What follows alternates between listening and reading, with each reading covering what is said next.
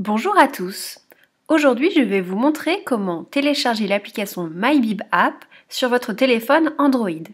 Cette application vous permettra d'accéder à de nombreux services euh, liés au réseau des médiathèques du Val d'Ire-Val de Seine. Donc vous commencez par télécharger l'application, enfin la rechercher en tout cas dans le Play Store.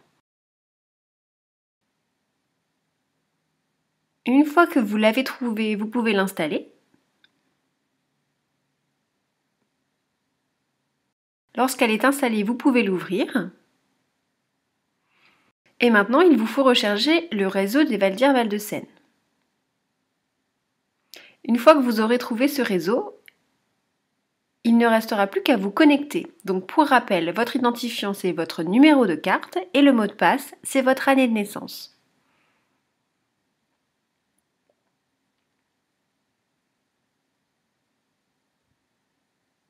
Vous pouvez maintenant sauvegarder ce compte.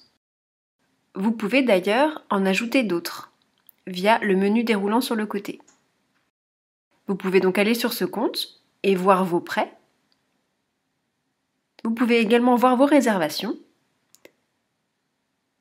Et vous pouvez afficher votre carte, ce qui est bien pratique si vous ne l'avez pas sur vous.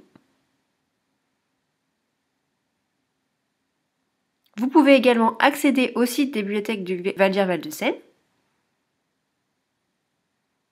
Voilà, vous avez accès à la page d'accueil. Et via les paramètres, vous pouvez changer votre libellé par exemple.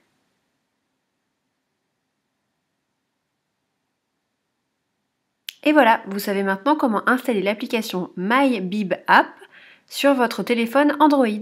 J'espère que ce tutoriel vous aura été utile. N'hésitez pas à nous poser des questions dans les commentaires ou par mail à médiathèque au pluriel vyvs.fr.